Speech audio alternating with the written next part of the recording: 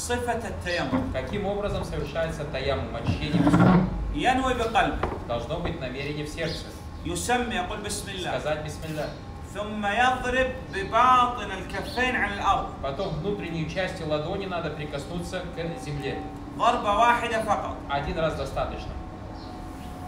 Вот таким образом. سواء كانت الأرض تراب Независимо от того, будь это земля пылью, أو طين или же глиной, أو حجر или же камнем, لكن على الأشجار على القماش على السيراميك لا Что же касается деревьев, то есть кто-то говорит пыль на деревьях, на одежде или же на керамике, то это не дозволено.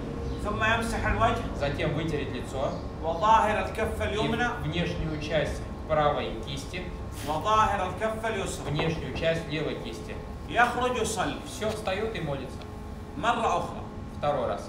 ينوي بقلبه Делает намерение, يسمي بسم الله говорит бисмилля, ضربة واحدة прикасается к земле, ثم يمسح الوجه вытирает лицо وظاهر и اليمنى вытирает внешние وظاهر اليسرى часть правой и затем левой руки. متى يتيمم Когда человек может совершать таямум? إذا لم يجد الماء Если у него нет воды. أو كان يحصل عليه مشقة من استعمال الماء Или же вода есть, но он не может ее использовать по каким-то причинам. مرض Допустим, болен, أو برد شديد или же очень сильно холодно. والله أعلم